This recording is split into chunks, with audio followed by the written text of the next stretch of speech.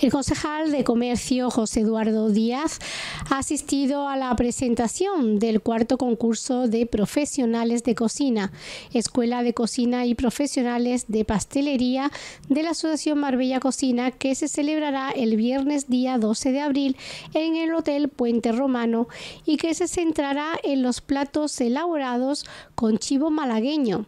El edil ha destacado el alto nivel gastronómico existente en la ciudad de la mano de los representantes del sector y ha señalado que la colaboración entre el ayuntamiento, las empresas privadas y los colectivos es fundamental. Buenos días, eh, gracias por asistir todo a la cuarta presentación del concurso Marbella Cocina. Esta es nuestra cuarta edición que cada vez se va consolidando un poquito más y vamos alcanzando el, el nivel que, todo, que todo lo asociado pretendemos. En esta cuarta edición tenemos unas pequeñas novedades eh, y también pues tenemos un número de concursantes mayores que otro año. Está llegando el punto desde que nos están llegando demandas para ampliar concursos en, años venideros, para ampliarlo incluso a nivel nacional. Nos ha llegado demanda de la región gallega. Esto es, esto es debido también, pues gracias a los promotores los promotores, los patrocinadores, que sobre todo Sabor Málaga, la Mancomunidad Municipio, el Hotel Puente Romano, que gracias a ello pues tenemos este marco incomparable donde celebrar este, este dicho evento, todas las facilidades que nos están proporcionando siempre, y también el Ayuntamiento de Marbella. Nuestro concurso, pues como sabéis, la base es la misma, es la de ayudar a los jóvenes cocineros, a los restauradores de la zona, para realzar lo que es la cocina, eh, nuestra cocina, sobre todo lo que se elabora aquí en la Costa del Sol, nuestra cocina internacional. Y entonces, pues los jóvenes es un lugar, un espejo donde tiene ellos un lugar donde recrearse y darse a conocer. También para los profesionales, por donde da rienda suelta a su imaginación y a su, y a su habilidad. Este año la novedad es que vamos a tratar sobre un plato en concreto, el chivo malagueño.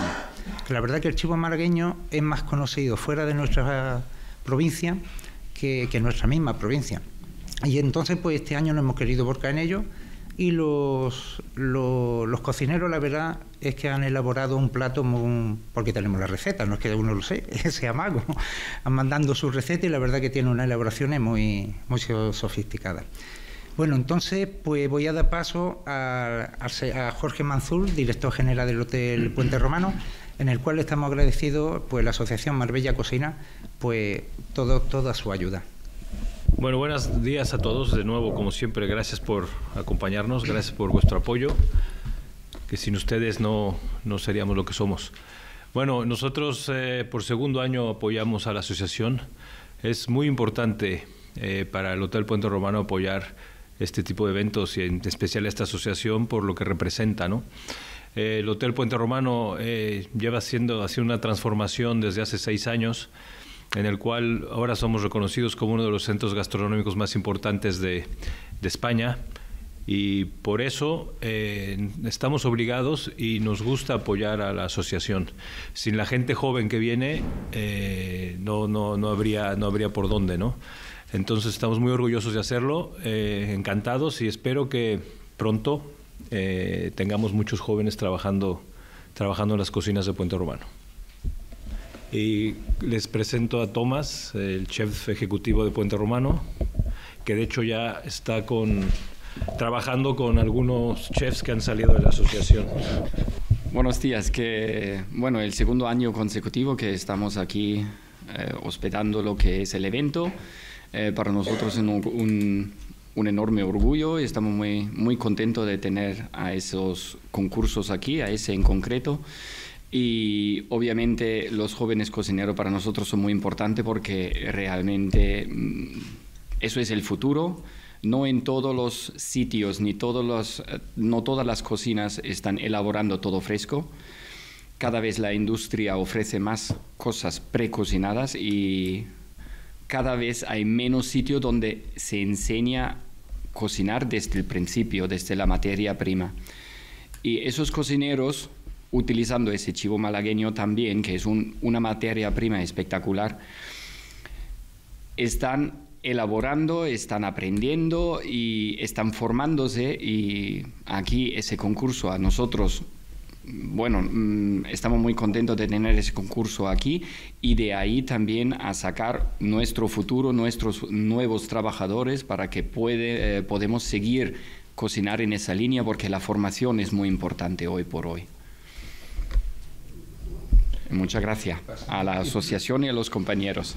Bueno, pues muchas gracias, muchas gracias Tomás, muchas gracias Jorge, especialmente a ti como director de, uno de los emblemas turísticos y uno de los emblemas de Marbella, porque sin lugar a dudas eh, Puente Romano eh, yo creo que es una de las marcas asociadas a la marca Marbella que mejor representa lo que es nuestra ciudad y sobre todo que habéis sido capaces de hacer, eh, de reinventaros precisamente con ese nuevo modelo de, de hotel gastronómico y a la vez sois capaces eh, de, penetrar en la sociedad y en la ciudad eh, apoyando a colectivos como Marbella Cocina, por lo cual, como ayuntamiento, al cual represento y en este caso como teniente alcalde de comercio, pues te doy las gracias porque esa ayuda es fundamental, esa colaboración entre empresa privada, ayuntamiento y colectivos, yo creo que es fundamental. Y ahí hacéis un gran trabajo.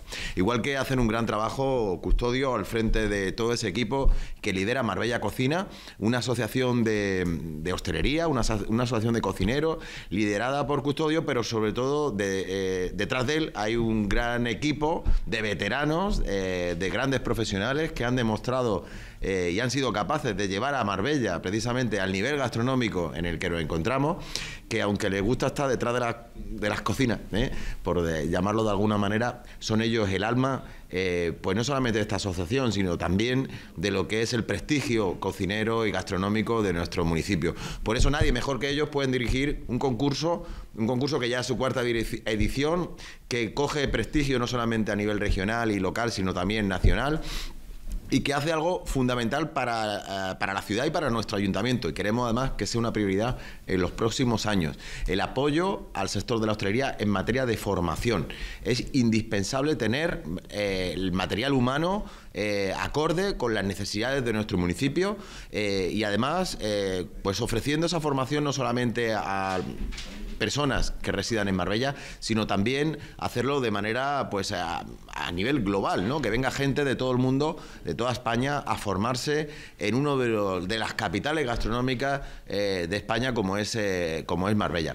Por eso mm, creo que eventos como este certamen le dan precisamente esa calidad, ese prestigio y además le abre la puerta a muchos profesionales que como pudimos ver en las ediciones anteriores pues han acabado evolucionando e incluso algunos de ellos creo que forman ya parte de la fila de, eh, del propio hotel, ¿no? de Puente Romano, ¿no? donde se le da una oportunidad de poder tener esa proyección. Alumnos, muchos de ellos de las escuelas de hostelería, de las escasas escuelas de hostelería y donde yo creo que además tenemos que aprovechar actos como hoy para reivindicar que haya una mayor apuesta precisamente en la, en la formación, en nuevas escuelas de hostelería, en ampliar las existentes y decirles también aquí públicamente que el ayuntamiento se marca como uno de sus objetivos prioritarios el volver a recuperar eh, esa escuela de hostelería como fue el Hotel Escuela Bellamar, que por desgracia y por la mala gestión de algunos, pues se ha perdido eh, de nuestra ciudad. Yo creo que ese debe ser, y perdonen que aproveche esta ocasión para reivindicarlo, el objetivo que nos tenemos que marcar, y ahí ya lo digo como responsable de comercio,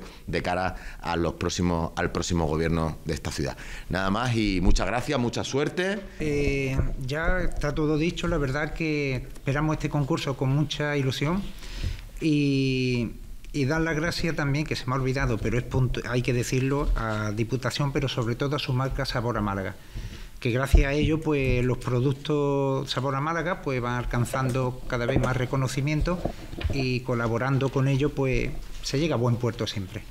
Bueno, señores, pues muchas gracias por su asistencia. Perdón. participan? ¿Perdón?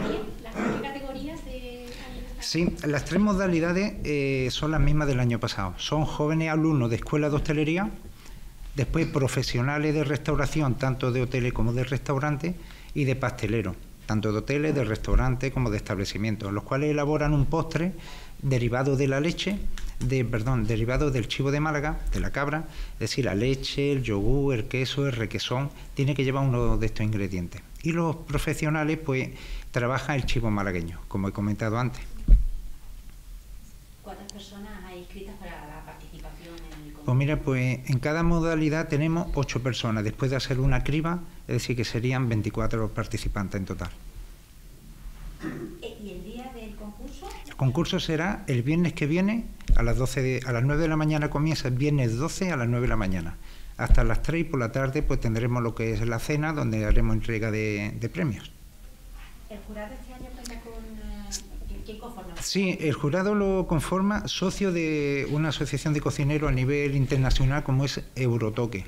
Viene la presidenta Elena Zumariaga de, de Galicia, la presidenta de, de jurado, y después eh, cocineros reconocidos de la zona como Diego, del restaurante El Lago, eh, Juan Mabedma, eh, vamos, varios compañeros más que ahora mismo no, no me acuerdo. Eurotoque es la asociación gallega que ha ofrecido... No, no, Eurotoque es una asociación internacional. Eso, ella es un miembro más de, de la asociación. Eh, entonces, la posibilidad de eh, fuera de las fronteras de Málaga que ha comentado antes, Efectivamente. ¿ese ofrecimiento de dónde aparte? de Pues precisamente de la presidenta que, de que va a ser de la presidenta del jurado. ¿Y en qué nivel está ese proyecto? Bueno, vamos primero a terminar este año, entonces ella ya eh, ve el- la estructura que tiene este concurso y entonces pues ya empezaremos a, a estudiar y a formar el, el del año que viene, pero primero vamos a sacar este adelante. ¿Algo más? Pues muchas ¿Alguna gracias. cosita más? Pues nada, pues Muchas muchas gracias. gracias. Y a cocinar. A cocinar.